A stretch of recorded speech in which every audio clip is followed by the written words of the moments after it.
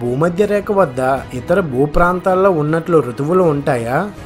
దీనికి జవాబేంటో ఇప్పుడు చూద్దాం. భూమధ్య రేఖ అంటే భూమి ఉపరితలంపై దాని మధ్య భాగం చుట్టూ నలభై వేల డెబ్బై ఐదు కిలోమీటర్ల పొడవున ఉండే ఒక ఊహారేఖ ఈ ప్రాంతంలో ఋతువుల మధ్య తేడాలు చాలా స్వల్పంగా ఉంటాయి.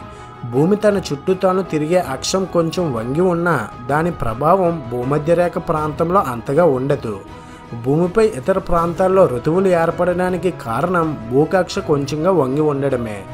భూమధ్య రేఖ దరిదాపుల్లో ఆ రేఖ నుంచి దూరంగా పోయే కొలది ఉష్ణోగ్రత వర్షపాతాల్లో మాత్రమే కొంచెం తేడా ఉంటుంది.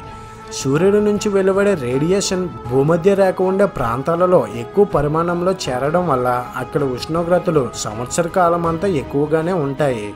వేడిగా ఉండే ప్రదేశాల్లో వాతావరణ పీడనం తక్కువగా ఉంటుంది. కాబట్టి తక్కువ పీడనం ఉండే భూమధ్యరేఖ ప్రదేశాల్లో మధ్యాహ్న వేళలో ఉరుములతో కూడిన తుఫానులు సంభవిస్తూ ఉంటాయి.